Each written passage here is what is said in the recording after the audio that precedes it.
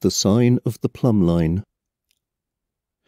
The Lord showed me a vision of himself standing beside a wall and holding a string with a weight tied to the end of it. The string and weight had been used to measure the straightness of the wall. Then he asked, Amos, what do you see? A measuring line, I answered.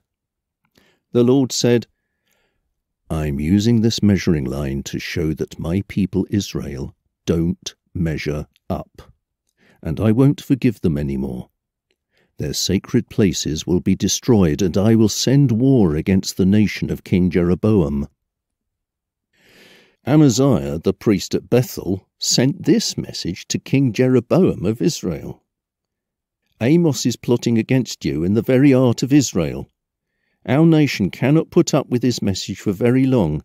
Here is what he is saying Jeroboam will be put to death, and the people will be taken to a foreign country. then Amaziah told me, Amos, take your visions and get out. Go back to Judah and earn your living there as a prophet. Don't do any more preaching at Bethel. The king worships here at our national temple. I answered, I am not a prophet, and I wasn't trained to be a prophet.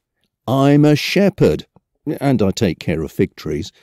But the Lord told me to leave my herds and preach to the people of Israel.